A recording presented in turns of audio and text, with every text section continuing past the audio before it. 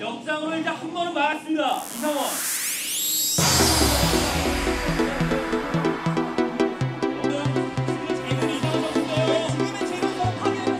These are South Korea's cyber warriors, and they're battling it out live on one of the nation's top rating TV shows.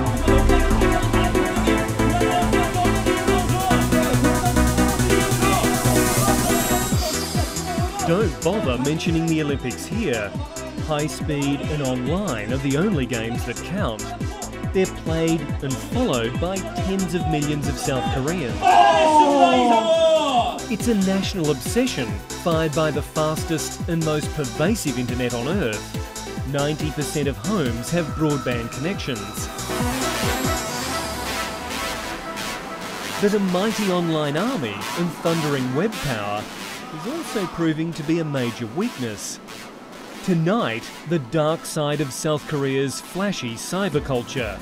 We'll meet its hapless addicts, assess its death toll, and explore how it's become the new and very real battleground with North Korea.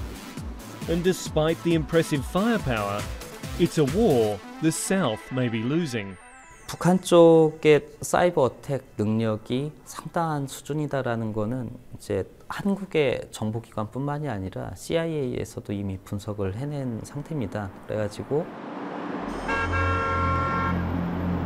This is a story of defectors, double agents, contract hits, and how a global pariah better known for oppression, deprivation, and blackouts is hacking and subverting its super sophisticated neighbour. First, the fun.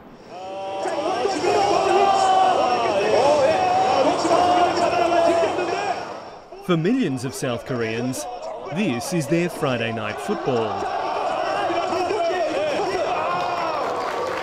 This is the top league of esports, a competition of professional teams going head to head on national cable TV and at rates. 정말 제대로 해주면서 지금 상태가 바로 스가 안, 당- 안 당했거든요. The top gamers are national heroes, revered and rewarded in equal measure. 기본 그러니까 최고 플레이어 같은 경우에는 한 18살, 19살, 20살 되기 전에 아, 한국 기준으로 한 2억 원 정도. 또 그 외에 뭐 개인적으로 광고를 찍는다든가 또 여러 가지 뭐 이벤트 행사 뭐 사인회라든가 이런 거는 별도로 가는 거니까요. 연봉만 그 정도고 I've been invited into this computerized mayhem by the country's number one gladiator, Lim Hyo Hwan. 혹시 많은 사람들의 사랑을 받는 거는 좀 너무 기분이 좋아요. 프로라면 최고가 되는 걸 원치 않아요. 최강이 되는 걸 원해요. 가장 센 농구로 보면 뭐 마이클 조던이고 어, 골프로 보면 타이거 우즈죠. 이면 선수는 때문에 한 명의 선수가 아니라 그 정말 그 어, 어떤 뭐 선지자가 돼서 선지자가 위인이면 위인이고 Lim Hyo Hwan has appeared in movies as well as commercials for many of South Korea's top brands. He has an official fan club of more than a million members and has been recognised as the greatest gamer of all time by a leading esports website. 음, 제일 좋은 점이요. 자기가 좋아하는 걸 하면서 돈을 벌 수 있고 어, 많은 사람들의 응원을 받을 수 있다는 것. 그러니까 자기가 잘하면 잘할수록 그 많은 사람들한테 더 많은 사랑을 받을 수 있고 Hi everyone. His partner is almost as famous on a different screen. Kim Ga-yeon is one of South Korea's best known movie stars. Together, they're one of the country's most glamorous and most photographed couples. She's come along to Lim's team practice. Just like professional athletes, it takes years of sweat to make it to this level. Practice is unrelenting. 하루에 한 10시간 이상씩은 10시, 적으면 10시간, 많으면 한 13시간에서 15시간까지도 해요. 3, 13년 이 정도 동안 해온 것도 제가 그만큼 누구보다도 게임을 사랑하고 좋아했기 때문에 어, 가능했던 거죠. But only a few make it to the top. Many more are languishing at the bottom of a pit of addiction and desperation.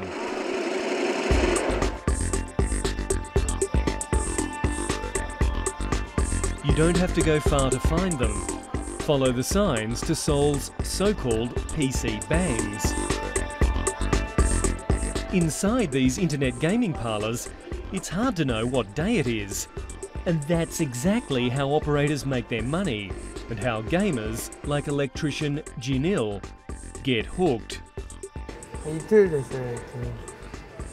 He's entering his third straight uninterrupted day in front of the screen despite the fact he should be at work. 그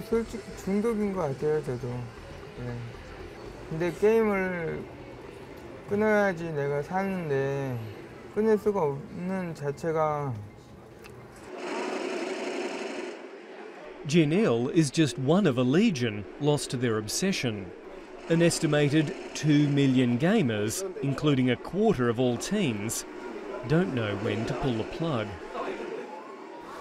제가 이번에 입원한, 입원한 케이스는 뭐 5일 동안 PC방에 있었던 친구들도 있고요. 예, 뭐 일주일 동안 있었던 친구들도 있고.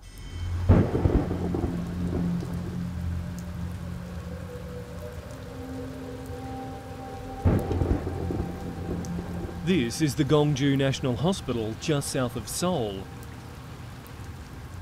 Here, Dr. Lee Jae-won runs the Save Brain Clinic, a psychiatric unit that treats internet addiction. Many of his patients, like this boy, receiving so-called transcranial magnetic stimulation, are barely in their teens. According to Dr Lee, this treatment stimulates the parts of the brain that have been sidelined by marathon computer gameplay. 장시간 동안에 의자에 앉아 있는 상태가 지속이 되기 때문에 그 뭐 디스크라든지 또는 혈액 순환계에 피가 응고가 돼서 피떡이 만들어져서 그게 어, 다른 어떤 장기에 손상을 준다든지 하는 신체적인 문제가 충분히 발생을 할 수가 있고요. 어, 그게 심한 경우에 사망에까지도 이르게 할 수가 있죠.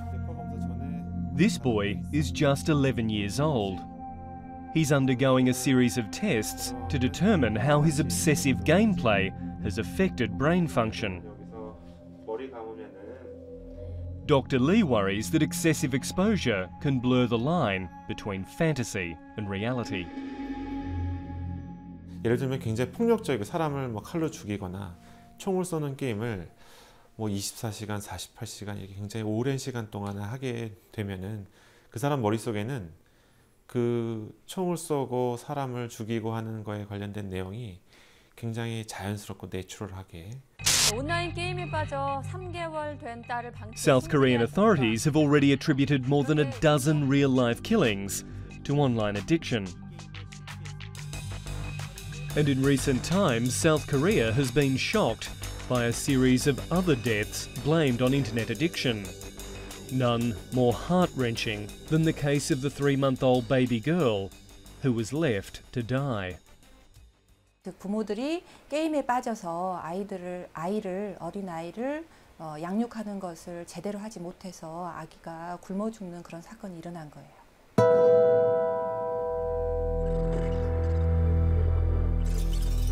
Clinical psychologist Suki Chai was asked by the court to assess the mother. She found that while the mother was starving her real baby at home, she was nurturing a virtual online child at a PC bang nearby. 그런 착각을 순간순간 했던 것 같아요. 그러니까 판타지하고 현재를 이렇게 순간순간 헷갈리는 그런 것도 좀 있었던 것 같아요. 자기가 컨트롤할 수가 없는 거죠. 자기 행동을 컨트롤할 수가 없고 순간 판단력이 멎어버려요. The case created a national furor. The mother was spared jail because she was pregnant. And despite Dr. Chai's recommendation to the court that she be treated and monitored, the woman has disappeared. 그리고 이제 중독이라는 것은 항상 재발 가능성이 높기 때문에 어, 실제로 아이가 다시 방치되지는 않을까 또는 건강하게 잘 자랄 수 있을까 그런 부분들은 어, 굉장히 염려스럽습니다.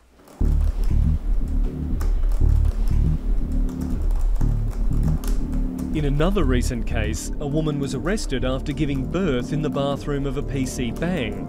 then sealing the newborn in a plastic bag and dumping it in a bin in the parking lot where the baby died. They're the stories that shock, but they haven't slowed the rampant growth of gaming one little bit. South Korea is proud it leads the world with web power and that it leaves its northern neighbour well and truly in the dark.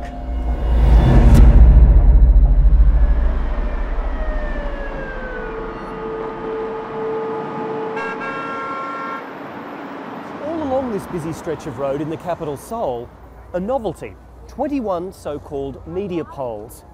They all provide free public access to the internet. They're a city curiosity, a talking point for tourists, but they're also a very visible reminder of how South Korea has enthusiastically embraced the high speed internet. You can even email your photo to anyone, anywhere in the world, except North Korea.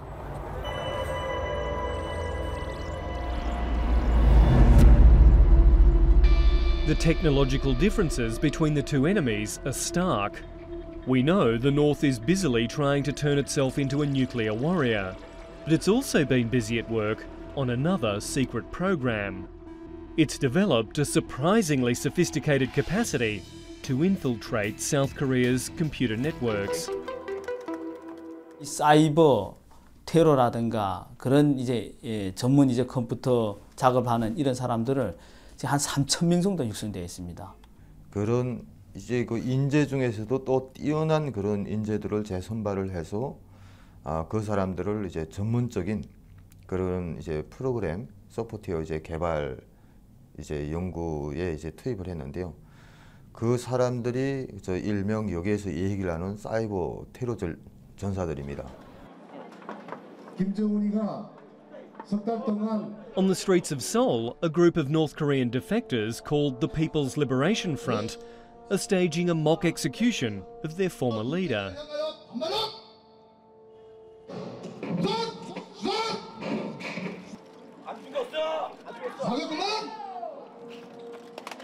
우리 탈북자들에게는 김정은에 대한 원한이 많습니다. 그래서 특히나 그랬는데 김정일보다 더 악덕한 이런 행위들이가 자행이 되고 그! 그! They're led by Jung Se-yul, a former North Korean colonel who witnessed the extreme corruption and cruelty of the Kim cult.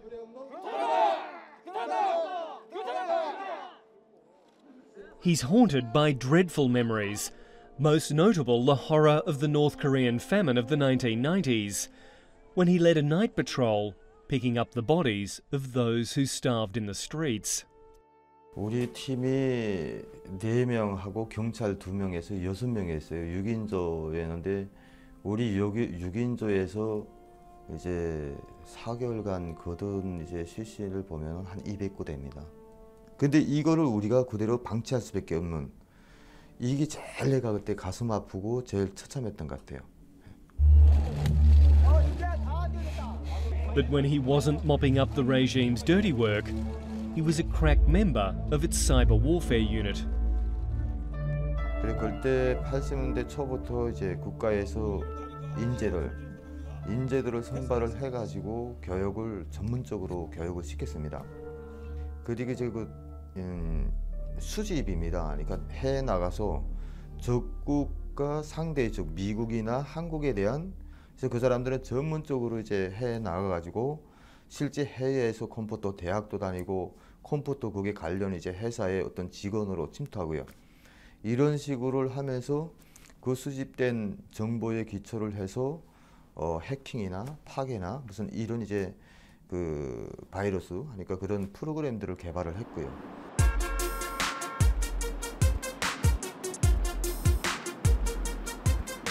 That strategy is why Pyongyang is considered responsible for a crippling hit on a major South Korean bank. The hacking last year of the Nonghyup Bank left 30 million customers unable to access their bank accounts for more than a week. The bank then had to spend $400 million upgrading its cybersecurity. 우리 그 친구들 하니까 이제 사이버를 사이버를 전문으로 하는 친구들도 얘기를 하는 게 그 뭐 한국의 뭐 이제 정부 기관이나 그리고 이제 군부를 치기보다는 이제 증권인 회사라든가 이제 이런 그이 운행 운행 전산망만 파괴를 하면 국민을 그 나라는 순간에 마비된다고 이런 얘기를 많이 했댔어요. 그렇기 때문에 운행 전산망을 뚫었다는 거를 가장 큰 거로 봅니다.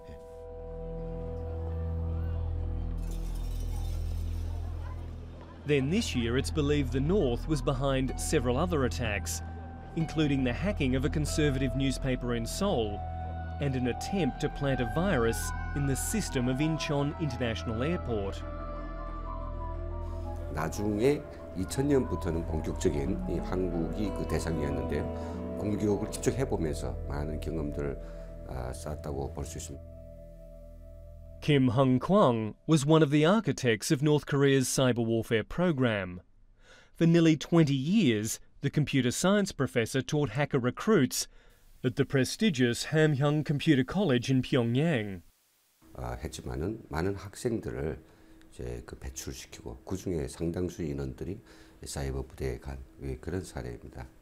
아, 사실은 뭐 미사일도 어, 그것이 상당히 대량 살상을 할 수 있다는 의미에서는 위험하고 그게 못지않게 이 사이버 테러도 어, 못지않게 아주 큰 피해를 가져다 줄 수 있습니다. This defector says the North strategy is not just about targeting the financial system. It's also about spreading dysfunction and mayhem throughout the capitalist South. 사이버 공격을 통해서 우리가 어떤 그 운행이라든지 사람들이 많은 이해관계가 집결되어 있는 국가 기반 시설들, 에너지, 상수원, 원전, 그리고 또 항공 관제 파괴시키기 위해서 어떤 공격을 가하게 된다면 그러면 이제 뭐 물을 마실 수 없고 원전이 폭발되고 하늘의 비행기들이 충돌하고 어, 엄청난 이 피해를 어, 입힐 수 있는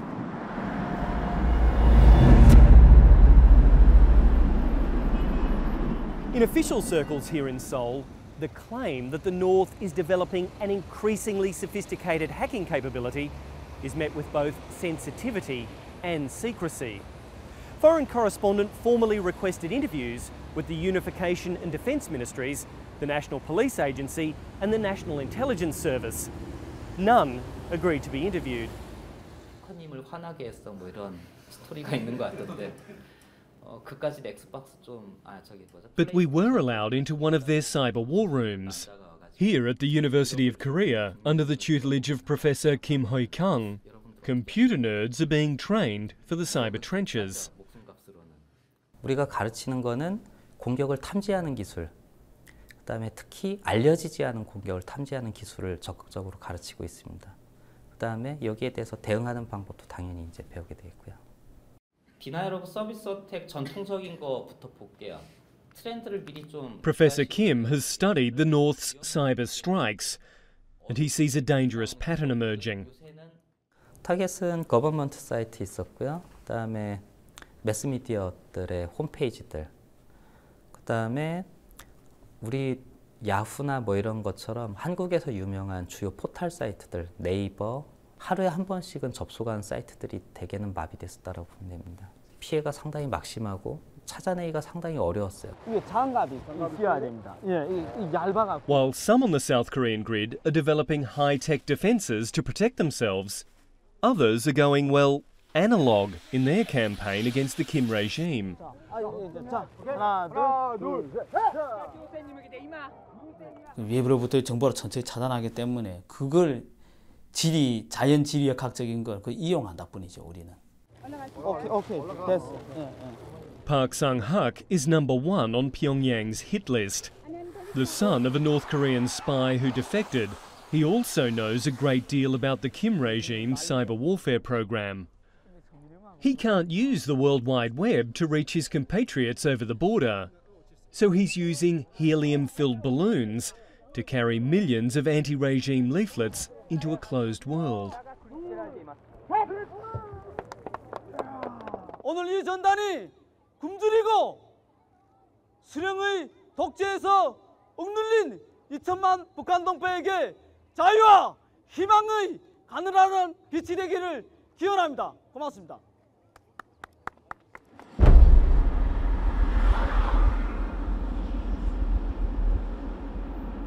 Park Sung Hak is haunted by scenes he can't shake from his memory growing up in the north, including the public executions of hungry people caught stealing food during the famine.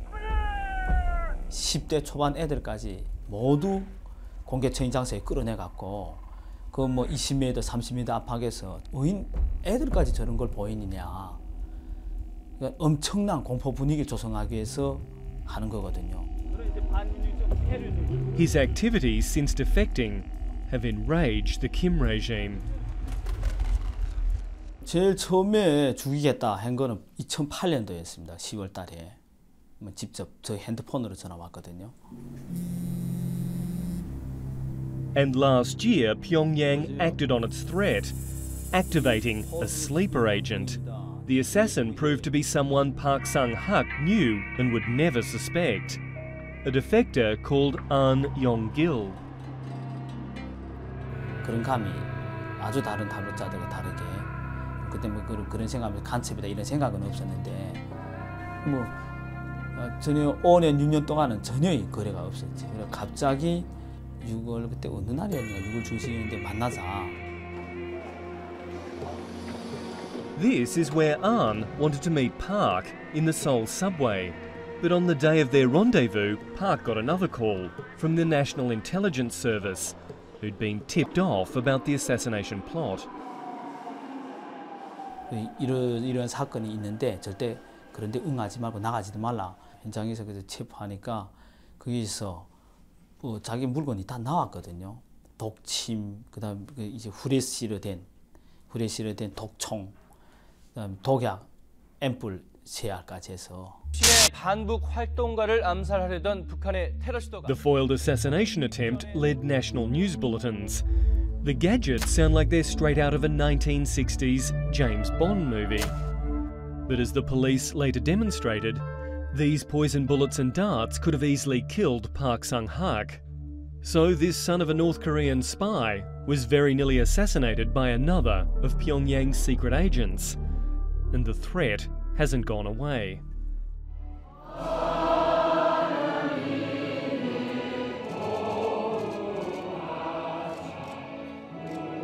It's North Korea Freedom Week in Seoul.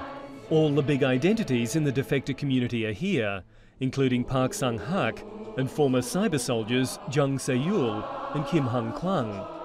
In Pyongyang, they're traitors. Here, they're heroes.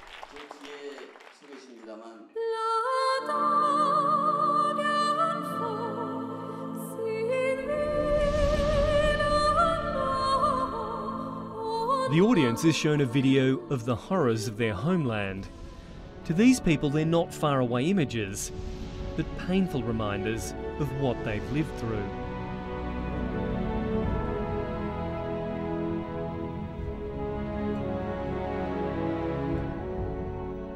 불쌍한 우리 우리 형제들 왜 세계는 이렇게 살고 있는 때는 가버린지도 오래는데 왜 이렇게 살 것인가? They all feel deeply about the plight of their fellow North Koreans, but they're also very worried about the ambitions of the new leader. 얼어 죽고 맞아 죽었다. These former insiders all agree North Korea's sights range wider than its immediate neighbourhood. 이리 가자! 이리 가자! 이리 가자! 감사합니다. 이제 호주 이제 같은 경우나 다른 나라 그쪽에 뭐 탈북자 행렬이 말고도 말입니다. 그 신분 세탁을 해서 들어갈 수 있는 그런 가능성은 충분히 많거든요. 그러니까 이런 사람들 같은 거는 뭐 이제 호주에 들어가서 기업이나 뭐나를 하면서요. 충분하게 이제 그걸 하는 거죠. 호주 같은 이제 상황이라면 이제 북한에서는 철저하게 미국으로 이제 간주를 하고 그게 제가 있을 때도 어, 80년대부터 그것을 걔들 준비하고 있었습니다. 북한에서 청난 그런 첨단 설비들 들여왔거든요. 그때부터 전, 미래 전쟁은 전자전이다. 재래식 무기에 의한 전쟁 그런 것보다도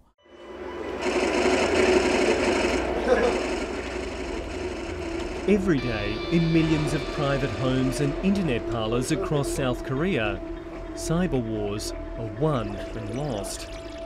The country's all pervasive internet is proving to be both a blessing and a curse, fueling its powerhouse economy while trapping its young in addictive fantasy worlds. So the South's very strength, its interconnected and wired society, could turn out to be its greatest weakness.